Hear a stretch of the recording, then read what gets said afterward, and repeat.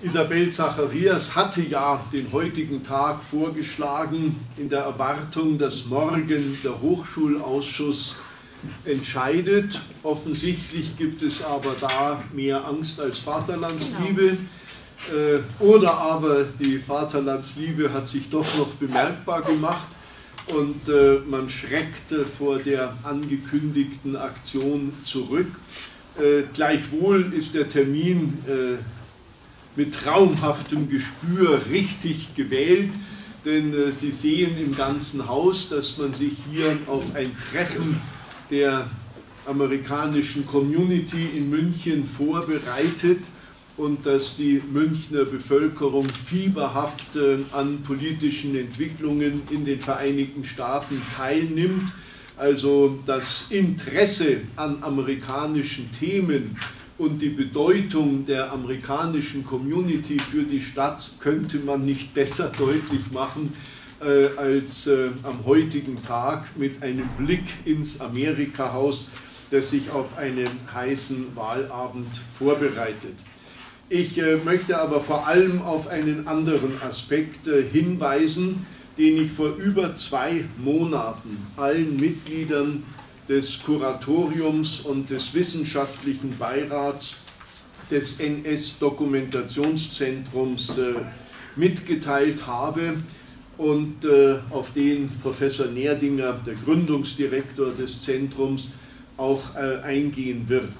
Es ist ja hier nicht irgendein Ort, wo zufällig eine Immobilie äh, geschaffen werden konnte, sondern wir sind hier im historischen Bezirk äh, zwischen der Gestapo-Zentrale einerseits und dem Braunen Haus und den Führerbauten an der Arzestraße andererseits, dem Bezirk, den man mal als Führerquartier bezeichnet hat. Und es war eine bewusste Entscheidung nach dem Zweiten Weltkrieg, ein Amerika-Haus hier zu errichten als historische Antwort auf die Vergangenheit. Der totalitären Vergangenheit sollte demokratische Zukunft gegenübergestellt werden.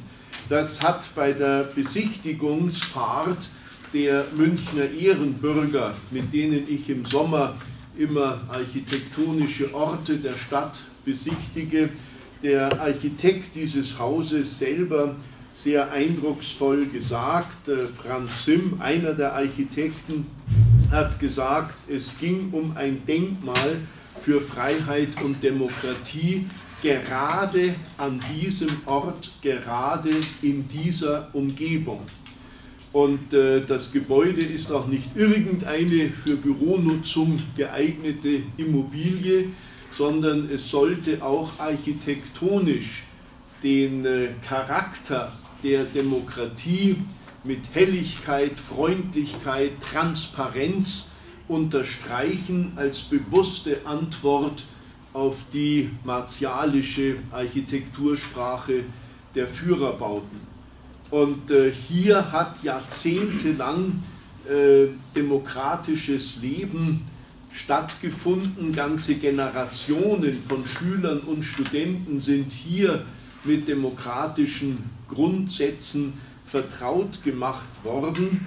Und äh, jetzt haben wir die wirklich entsetzliche Situation, dass wir in äh, absehbarer Zeit ein NS-Dokumentationszentrum auf der anderen Straßenseite eröffnen, um nicht nur der eigenen Schuljugend und Studentenschaft, sondern einem internationalen Publikum zu zeigen, wie sich die Stadt München gemeinsam mit dem Freistaat Bayern und der Bundesrepublik Deutschland mit der Last Hauptstadt der Bewegung gewesen zu sein, auseinandersetzt und dass äh, die großartige Chance, allen Gästen zu zeigen, dass es auf der anderen Straßenseite aber weitergeht mit einem Aufbruch zur Demokratie, mit einer demokratischen Erneuerung, die auf diesem Areal wesentliche Impulse erhalten hat, Diese Chance soll zerstört werden.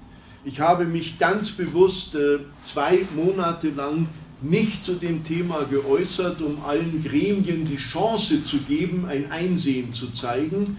Mein Brief ist vom 3. September, Sie können dann eine Ablichtung haben, äh, mit dem eindringlichen Appell, diese Chance hier nicht leichtfertig zu zerstören, denn bei allem Respekt vor der Akatec, den ich durchaus habe, Lobby zu sein ist ja nichts Böses. Auch der Städtetag ist eine Lobbyorganisation und äh, ich halte das bekanntlich für eine gute und ehrenwerte Sache, Interessen zu vertreten. Es fragt sich nur immer welche.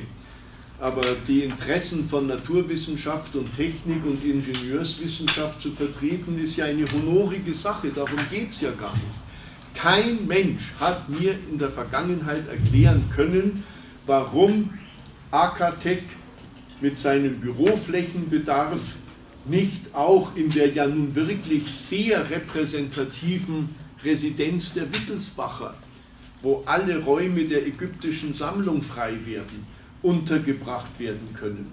Wir haben in der Münchner Nachkriegsgeschichte noch nie so viele leerstehende Gewerbeimmobilien gehabt wie gegenwärtig beneidenswert wenig im bundesweiten Vergleich, aber viele tausend Quadratmeter. Auch an zentralen Lagen, vom Altstadtring bis zur königlichen Residenz äh, bis hin zur alten Staatskanzlei. Und es gibt nicht einmal eine Diskussion, ob Akatec nicht äh, an einer anderen Immobilie untergebracht werden kann und dem Amerika-Haus endlich eine sichere Zukunft gewährt werden kann. Das finde ich deprimierend und es sollte gerade in der heutigen Nacht und am morgigen Tag, wenn die Bedeutung der Vereinigten Staaten für uns äh, deutlich äh, vor Augen geführt werden, noch einmal kritisch reflektiert werden. Letzte Bemerkung, Frau Knobloch hat äh, daran erinnert, was mit Quellen schwer zu belegen ist, aber sie weiß es aus eigener Anschauung, dass damals bei der Gründung und Eröffnung des Amerika-Haus gesagt wurde, es sei auch ein Dankeschön des bayerischen Staates für die Befreiung vom Faschismus, für die Kehrpakete und für den Wiederaufbau nicht nur der deutschen Wirtschaft, sondern vor allem der deutschen Demokratie.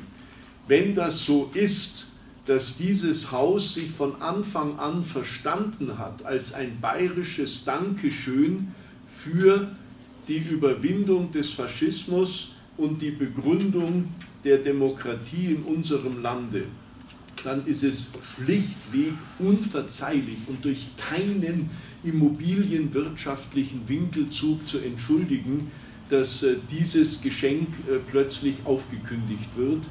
Äh, das kann man wirklich nicht tun.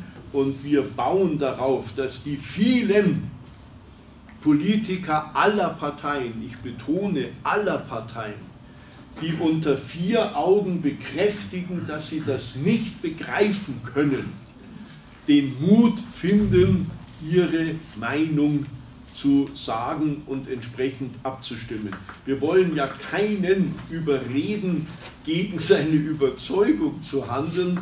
Wir wollen nur Mandatsträger gewinnen, ihrer eigenen Überzeugung, die sie unter vier Augen auch öfters betont haben, äh, endlich selber Rechnung zu tragen.